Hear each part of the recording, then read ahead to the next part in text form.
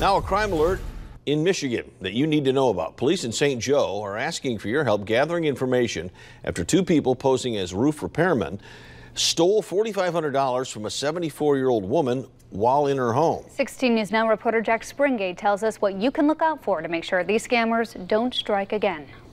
Police officers in St. Joseph, Michigan tell me this latest scam could be connected to three others just like it that happened over the summer of 2020.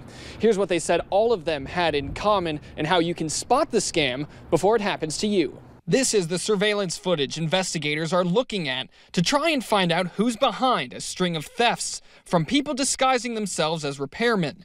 They say the scammers used the same techniques that fooled other victims this past summer. It was uh, Hispanic males. The victims were all elderly. And there was a distraction technique used while the second person went inside um, to steal the items. The latest hit happened less than a mile from the police station last Wednesday when a 74 year old woman answered the door for people posing as roof repairmen.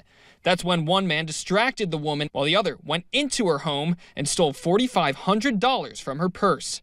Sergeant Hetrick says there were several red flags before anyone entered the woman's home. No plate on the vehicles, um, tinted windows with the vehicles, things like that. And also, if they claim that, oh, I, I work for this company or, you know, I, I, work for the electric company, I work for, you know, this roofing company, but they're, they're driving a vehicle with no markings or no indication that it's the company they work for, that's an, also another red flag. He says to also be suspicious of anyone knocking on your door offering unsolicited services. St. Joseph police are still looking for suspects in these crimes.